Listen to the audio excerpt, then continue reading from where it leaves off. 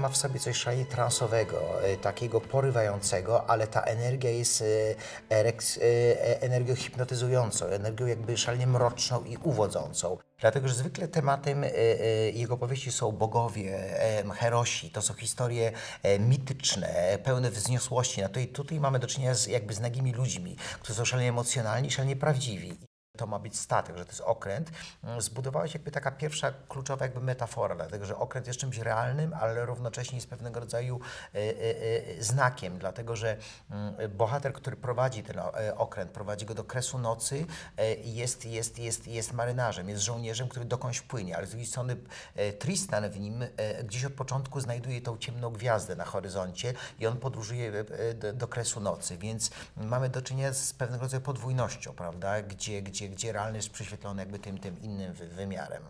Ja myślę, że to jest y, y, najlepsza z możliwych obsad, który ma w sobie szalenie silną skalę. I teraz tutaj trzeba naprawdę bardzo charyzmatyczne postacie, bardzo silne osoby, które, które będą w stanie wyrazić tą, tą, tą, tą, tą iskrę jakby wagnerowską i pokazać, pokazać tą, tą jakby energię.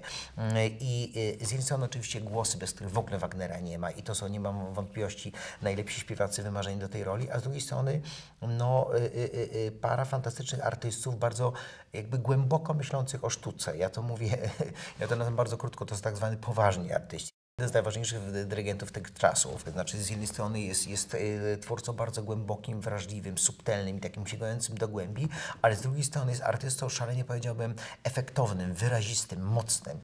Człowiek słuchając tej opery jest autentycznie sparaliżowany siłą muzyki, która wyraża tą bardzo dwuznaczną, krystalicznie lodowatą namiętność, która z jednej strony jest miłością, a z drugiej strony jest opowieścią o śmierci.